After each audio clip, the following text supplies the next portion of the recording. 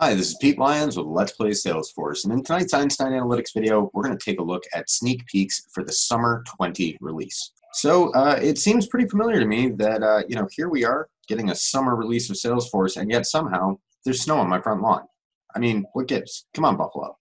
Uh, but anyway, let, us jump right in.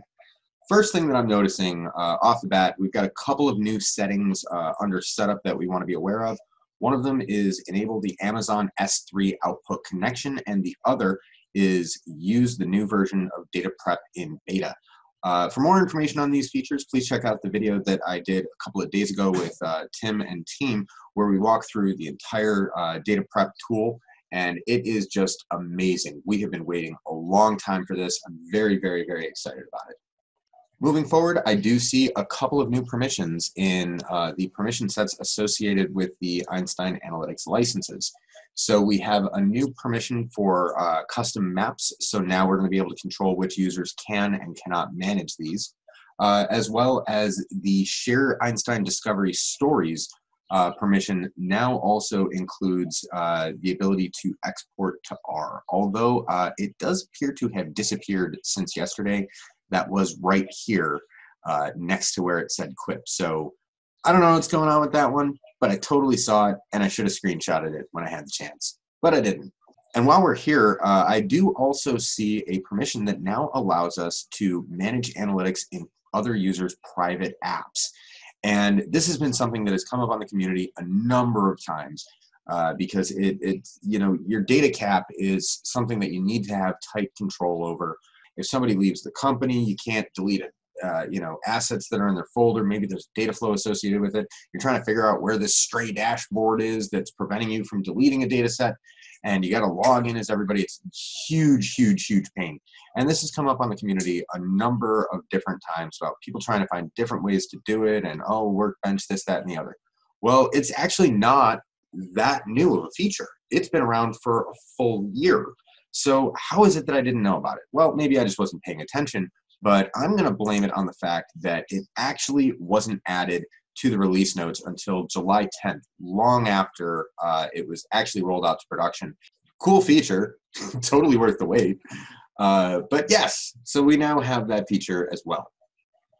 The next thing I saw had to do with embedding uh, assets on uh, record detail pages. I believe this also applies to app pages, but I didn't test.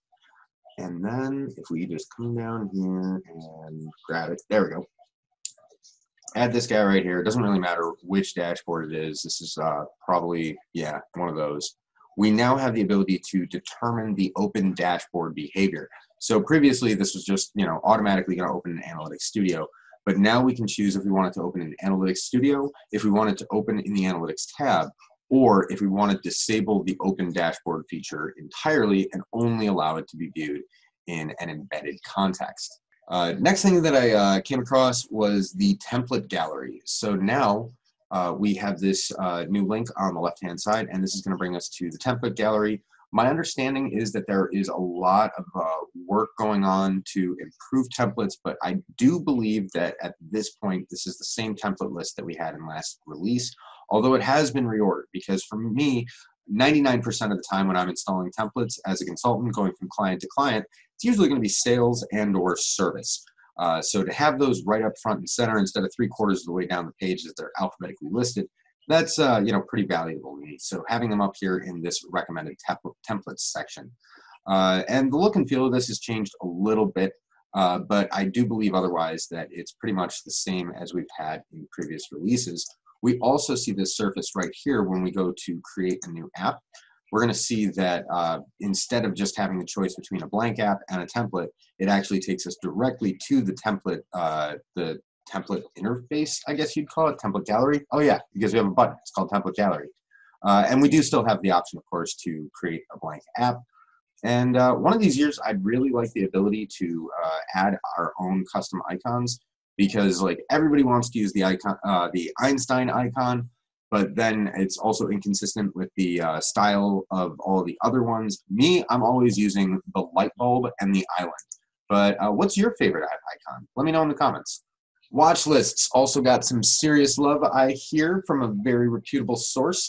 Honestly, I have absolutely no idea because I just found this out a couple of hours ago and I would have had to enable them like a week ago to let them start watch listing uh, or I wouldn't have anything to show for you. But uh, what we have down here um, where it's favorites created by me and shared with me, th this rightmost panel will get replaced by your watch list where you can basically kind of subscribe to different uh, dashboard components and it'll get trend lines over time. So apparently the update involves better trending functionality, more details, and overall improvements to stability, which may have had something to do with the reason why uh, last release's video was subtitled Pete Breaks Everything.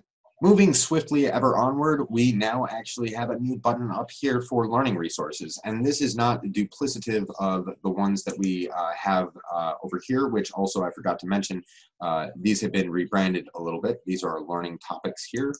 And uh, when we talk about learning topics, uh, this was uh, most of this was added last release but a lot of the uh, the look and feel of this interface has changed with this release. I do believe that most of this content was here already, though. I think the elements in popular topics is new. Uh, but we see our uh, release notes right down here. Currently, it's spring 20. It says spring 20 because the summer 20 release notes are not yet available. But when we are talking in a dashboard context, this is relate, uh, relating to the onboarding feature that I covered in a video with Katie Augustus uh, I believe, two releases ago. So now we're going to be able to see anything that we've embedded using custom onboarding in uh, the dropdown for Learn. And uh, those are going to show up on the right here. So this is one, uh, we've got a total number down here, and whatever we click on, it's going to show us uh, which one it's talking about. We've got some nice numbering. And then uh, I didn't want to rickroll everybody again, so I used the, the honest trailers for Waterworld, which Great, great YouTube channel. Um, we're not going to go there though. So another really cool feature uh, that we have is an update to subscriptions. And I haven't actually uh, had an opportunity to mess with subscriptions yet. Uh, this came out uh, relatively recently.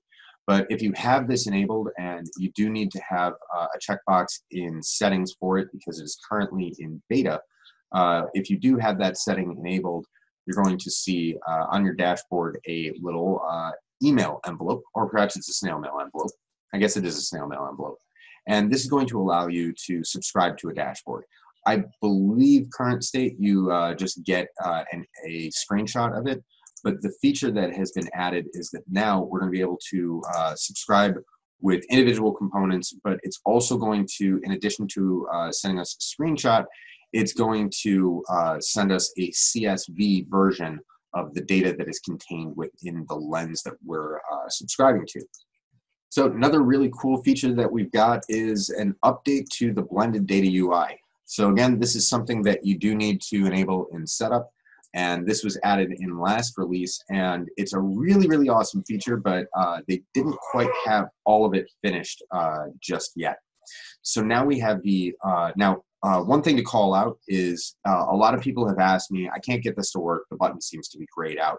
If you add any kind of grouping, for example, just going to add stage as a grouping. Now we see that the button is grayed out.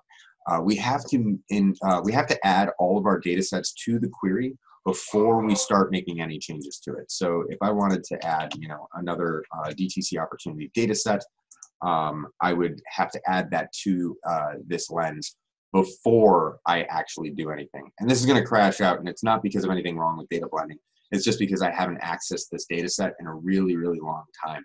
So if you ever see this er uh, error, your data set has not been queried in a while, we're recovering your data, please check back in a few minutes. It basically means it went into cold storage. And it's a lot better than the error message that we used to get, which was just that, you know, it made you think that the data set was broken. And now we actually have a nice explanation of why. But I'm always happier as a user when something breaks and it tells me what's wrong and it tells me what I need to do about it. So I'm going to see if it's ready now. And it looks like it is. It's awake. So we can add uh, different KPIs here. So for example, sum of amount. And so now I've got sum of amount is coming off of one data set and nope, I did that wrong. They're both on the same data set. More DTCs versus DTCs. And uh, previously, this was really all we could do. We could show these two things together. So for example, for, uh, I'm going to go to my bar chart settings, and I'm going to change this to uh, single axis. Whoa, no, I'm not. Maybe dual axis. That makes a lot more sense. And then I'm going to add groupings from both of these data sets.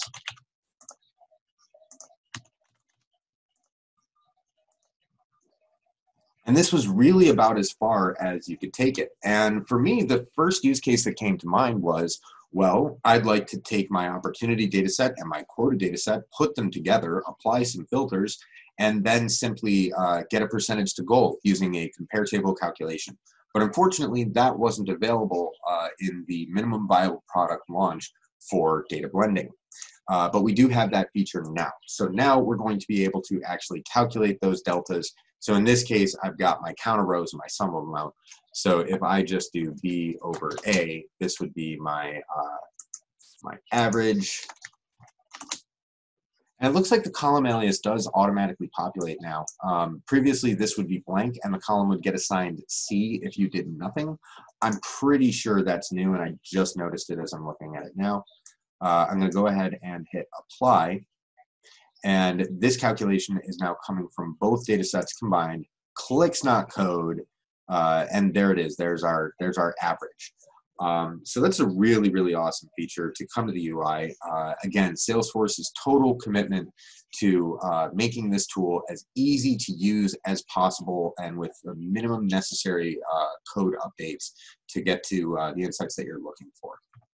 Uh, another really awesome feature that I did not find by myself. Uh, I also didn't find subscriptions either uh, or watch list. But the uh, we now have uh, a feature that was added last release was the ability to add dynamic reference lines that normally would require bindings and technically actually are still using bindings. But to be able to create those uh, interactive elements clicks not code. So if you find any video where I first was working with embedded dashboards and I created this, hooray, it's a dashboard, or maybe last release when I had the Waterworld trailer up on it, uh, you might notice that it used to say it's a dashboard, hooray, on two separate lines. Well, the reason why is because this is now dynamic text, which is the new feature that was added this release. And I just can't figure out how to get line breaks to work. Uh, but basically, right down here, I have a very simple static selector and it's passing its value to that dashboard component. So as I click through the different options on a static step, I'm getting different text. Now, obviously, that's kind of basic. Why do I need to be able to cycle through text with a, with a, with a toggle widget? But what this is actually intended for is to be able to pull values from different queries. So if you want to know, you know, uh, if you want to have a dynamic text widget that says your number one account is universal containers with uh, you know record quarterly performance of you know a bajillion widgets. And you want to be able to display that kind of information to a user you no longer have to create bindings to do that.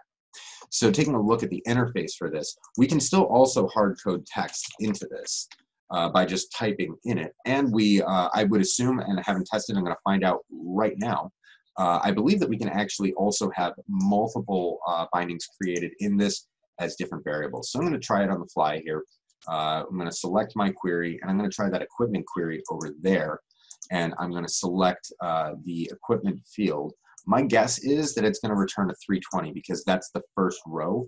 And there it is. Yeah, we're getting a 320 just by doing that. And we can choose either result or selection uh, for you know different behavioral uh, elements. See my binding videos for, for more on the distinction between results and selection but uh, just something to watch out. And This is this is true for like number widgets as well. If you have a grouped query, it's always going to pull just that first row. So you want to make sure that you're either putting a, a limit on this. If you want to see what your top account is, you would just put a limit of one on this before you grab that. And you know, hey, your top three accounts are limit one, limit two, limit three. I can think of all kinds of cool stuff that I'm going to do with this because I'm just reflecting back on all the times that I've done crazy stuff with bindings just to be able to get dynamic text strings. Uh, and actually, the project I've been working on recently uh, for one of my clients has that a lot. So, really great feature. Really happy to uh, see it come to the UI. But as long as we've got this dashboard open, let's take a look at the next one. So I'm going to uh, explore this widget, and it's it's throwing a little warning at me because you know, hey, yes, you've, you've got a binding that's going over to here. So by the way, if you're making changes to this, there's a good chance you could break what's going on over here but uh, don't think we're necessarily going to do that. Now, if I had a query that was in SAQL mode, um, we ran into a problem. And first I'm going to show you what that problem is. Now, if I wanted to get the, uh, the bottom account right here, I would just flip and click on counter rows right there. And now we've got the ones that are way at the bottom. Also, by the way, there is that dynamic text is updating. So now I'm going to click counter rows again. It's not sorting at all. And if I click counter rows a third time, I'm back to the sort descending. And the problem that we were running into was as soon as I flip this into SAQL mode, by just making a simple change like this, like I'm going to say, we're going to call this column number instead of count because, you know, I'm uninspired and that's all I can think of at the moment. Update. There we go. We would not be able to click and sort by this. And I've seen so many threads on the community about people getting frustrated, like, what am I doing wrong? What am I doing wrong? And the answer is you would have to make a separate static step to be able to bind into that order by parameter. Not anymore. So let's try it out. What did I do? Oh, I know what I did. I think it's because I think it's because I didn't change column map, maybe? I don't know. I don't know. I don't know if there's a defect or what, but apparently that's supposed to be a thing. Uh, it looks like it was at least trying to do that thing. So that was my first time trying it out. And yes, yes, I'm going to leave that in the video. So let's take a look at some other really cool stuff. This is going to be the last of it, but there's a few really, really awesome updates to this piece. So uh, who here likes functional gaps? Because I don't know about you guys, I really don't like functional gaps. And any time that there's something I can do in the standard report builder that I can't do in Einstein Analytics, that's a functional gap, and that bothers me. And one of them that we have had for the longest time, uh, I'm just going to put a couple of different values in here, like you know maybe my sum of amount, and uh, I guess I do still want those counter rows, and you know then I'm going to group by stage, you know, or maybe instead of counter rows, I'll do a, I'll do a fun one because this is one that people always like seem to forget exists, but it's super useful. I want the number of unique accounts that are in these stages. So uh, then if I wanted to add maybe a second grouping and we're gonna like look at this over time, I wanna look at this by, you know, say closed date year quarter. And then I go to pivot it. Well, the problem is I only get one measure in a pivot. Oh, look at that. Now I get multiple measures in a pivot, just like I can do in standard reports. How many measures can we do in the pivot? I actually have no idea. So let's see if we can just, you know, make it angry. I figured there's there's probably a limit. If I had to guess, I'm gonna say maybe four. But I don't know. I don't know. We're gonna find out. Can I add a fifth? I think at this point I gotta start going to some more uniques. We need the count owner. So now we've already exceeded what can be done uh, in the Salesforce UI. No, actually, no, because we can add formulas. I was just thinking, uh, you know, sum, max, min. You know, how many how many can we add? Apparently, we can add a lot. All right. Well, I'm convinced we can add enough to make it a horrible user experience because this is now a wall of numbers and not knocking the product. It's awesome that the product can do it, but you as a designer should not build like this. Uh, it's just too hard to read. And uh, the other feature that I understand that this now has is the ability to sort on these pivot groups. Um, I don't know how. Let's let's try it. Uh, can I sort by this?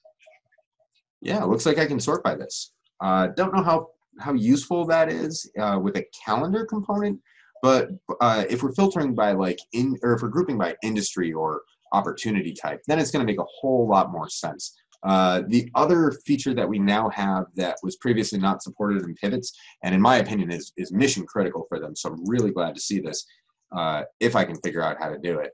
Um, yeah, there we go. So conditional formatting rules. We can now add uh, conditional formatting to highlight uh, our cells uh, exactly as we can in other tables, or at least I would assume exactly as we can. You know, again, I'm making this up as I go along. So we're going to just do greater than Let's do uh, greater than 12 million because that'll get something to show up. And pick me a color. Yep, and we do have the exact same functionality that we have in the UI, which is to pick both a background color, or not in the UI, but in other table types, to pick both a background color and a text color. This is probably going to be really, really ugly. Not as bad as I was expecting, but still like wow, Pete, you're terrible at like color theory. Just take an art class, man. Um, yeah, so uh, that's all the new features I was able to find for uh, this release. And again, uh, some of them I did get little uh, hints from the product team. So I want to thank everybody that uh, contributed to me being able to put together uh, a nice video for you guys. Uh, and if you enjoyed this video, please like, subscribe, tell a friend, and as always, thanks for watching.